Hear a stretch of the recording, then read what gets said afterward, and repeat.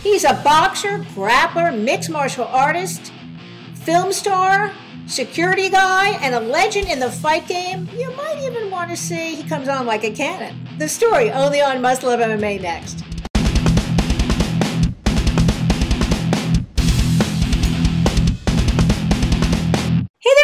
MMA fans. Guess who I've got with me tonight? Shannon the Cannon Ritch, a legend in the fight game. So, Shannon, we got to get right to it. You've got a big fight coming up at Bare Knuckle FC4 in February. Let's talk a little bit about your opponent and what you're doing to prepare for the fight. Yeah, I'm fighting February 2nd in Cancun, Mexico for Bare Knuckle 4, uh, Bare Knuckle Fighting Championships. Uh, Dave Feldman's putting it on. Look, I'm fighting Omar Molina. He's from Mexico. He's a boxer, kickboxer, MMA fighter. Um, predominantly a boxer. That's pretty much what I know about him. But, uh, you know, me, yeah, I'm the ultimate athlete. This is what I do. I, uh, I will come out there and swing fences, and hopefully uh, one of us is going to get knocked out, and uh, hopefully it's my opponent.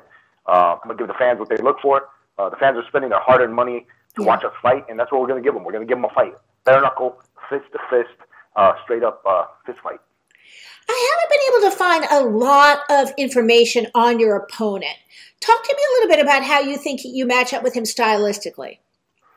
Um, we're both big guys, you know. We're both over 200 pounds, fighting for heavyweight.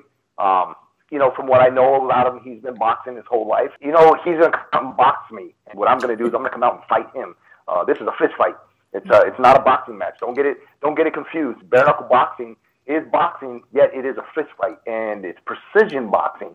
You have to know exactly how to hit an opponent, where to hit your opponent. I mean, if you go out and swing for the fences and you and you the guy on the head, you bust their hand. So uh, what I'm going to do is I'm not going to really worry about what my opponent does. I'm going to do what I do, and uh, I'm going to I'm going to hit him hard, fast, and continuously, and uh, hopefully have a good night. I have a bare knuckle boxing record of 25 and three with 25 KOs. Is that accurate? Yep, that's accurate. Yep, been fighting for a long time.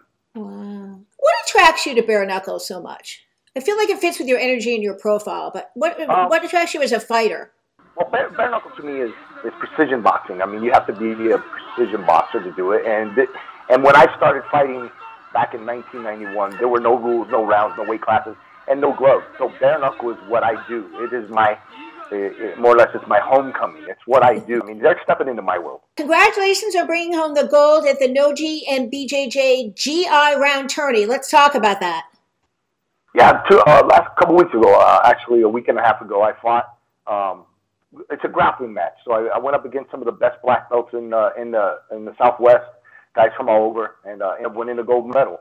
And uh, you know, jujitsu is my second love. That's what I do. I'm uh, I own a Brazilian jiu-jitsu school right. called Cannon BJ Cannon BJJ CannonBJJ.net. If you guys want to check me out on the website.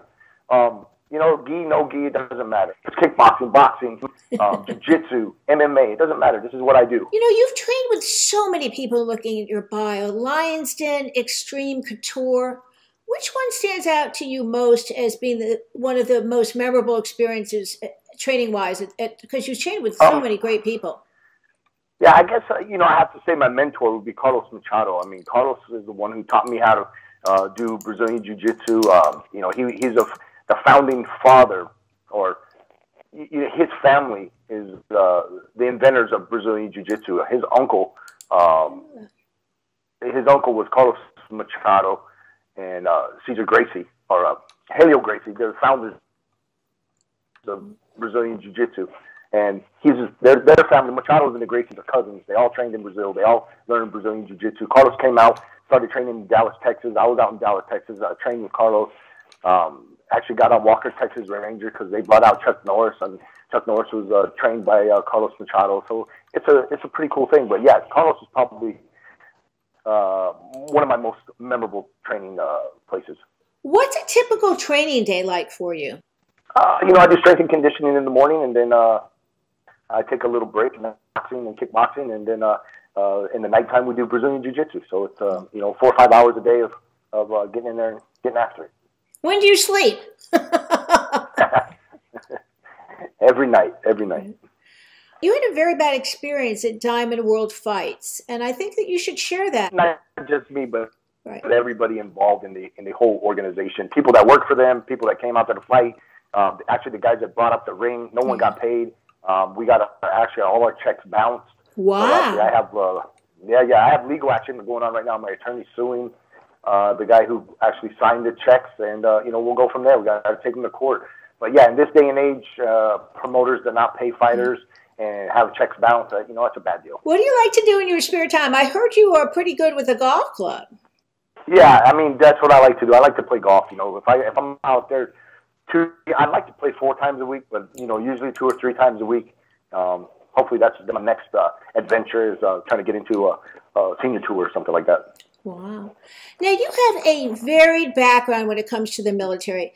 You were in it. You're also involved in helping some of the military come up the ranks. Talk to me a little bit about exactly how you're doing that and how you're passing this information on to sort of the next generation of Army and military fighters.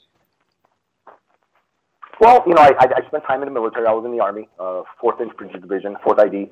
And then um, I got out of the Army, and then I started doing diplomatic security, private security. Um, I, I worked for a, a private security company in Iraq. I was a bodyguard for John Negroponte, who was the United States ambassador in Iraq. And then I also did uh, private security for Colin Powell, Condoleezza Rice, Donald Rumsfeld, other uh, dignitaries um, in Iraq. Um, yeah, and I just been mm-hmm. doing security ever since. I go around and I do uh, defensive tactics, hand-to-hand combat, weapons retention, weapon takeaway, close quarter combat. So I, I, I train, um, you know, I, I go out to Fort Benning, trained with the Army Rangers. I trained train with Marines here in uh, the Yuma Proving Grounds. Uh, I go around with the uh, group called America 300 Tour, and we go around to all the uh, military bases and we do a lot of stuff with the uh, the soldiers there. Shannon, like there's nothing left you haven't done. What is left on your bucket list? Well, the next thing left on the bucket list is the Bobby Gunn Shannon Ritch fight. We do that fight and then uh, fade off into the sunset. Before we go today, Shannon, is there anything else you want to add? Give a shout out to your friends, family, your sponsors, anything else that you can share with our viewers before your fight? You know, well, I, I got a lot of the uh, sponsors, Eight Strong. They're uh, Eight Strong. They're doing great, uh, great things. Um, you know, big shout out to Dave Feldman for putting together yeah.